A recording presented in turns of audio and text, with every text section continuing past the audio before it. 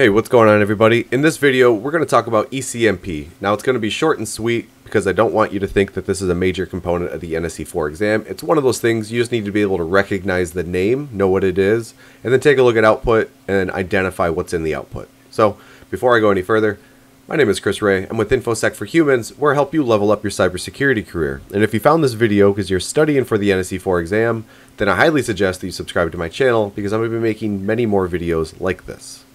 So getting right into it, when we're talking about ECMP, I'm talking about equal cost multipath routing. In this case, uh, the screen says equal cost multipath load balancing algorithms for IPv4 and v6.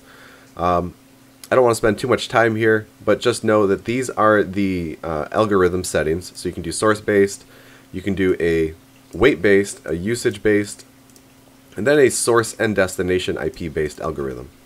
Uh, for source, or sorry, for ECMP, source IP based is your default. If you don't do any configuration and you just put it in uh, and you start using ECMP, that's what it's going to use by default. Source and destination IP address can be selected using the command line. And then weight based and usage based requires a little bit of additional configuration to use it. Weight based, you have to uh, assign weights to the route or the interface. And then usage based, you have to define a threshold uh, a threshold measuring the quantity of data moving over that, that route. So going over here, and like I said, this is going to be real quick. Uh, you don't need to know how to configure it. You don't need to know, um, you know, all the use cases. You don't need to fully understand ECMP. It's a very minor part of the exam. But as you can see here, let's say we've got this PC. Doesn't matter what its IP address is. It just wants to communicate with this destination down here, which is 10.10.10.100. In between, we have these two subnets, 10.220 and 10.330. By default, because it's using source source-based IP address, ECMP, when this tries to communicate, this FortiGate here will look at it, and it will choose a route based on the source IP address. So all the data set from this source IP address, whatever it is up here, will use the same route. In this case, let's say it's using 10.220. It will go this way.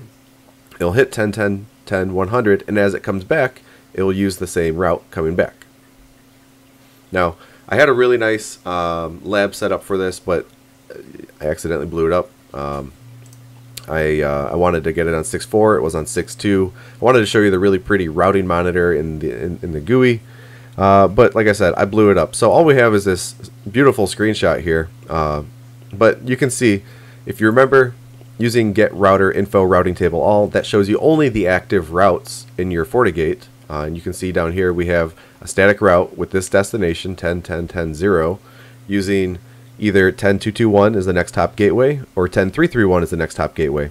On the right side you have your priorities and on your left side here you have your metric. Because these are the same, the metric matches, the priority matches, it's the same destination, we have an equal cost multipathing scenario. So this is what you will see or what you could see on the exam if you're presented something asking you about ECMP, is it active? Is it being used? How do you know? This is how you know. All right, everybody. Um, I'm not going to spend any more time on this. It's a very minor part of the exam. If you even see it at all, I just wanted to bring it up and try and round out the series of videos that I'm making here. Again, my name is Chris Ray. I'm with InfoSec for Humans, where I help you level up your cybersecurity career.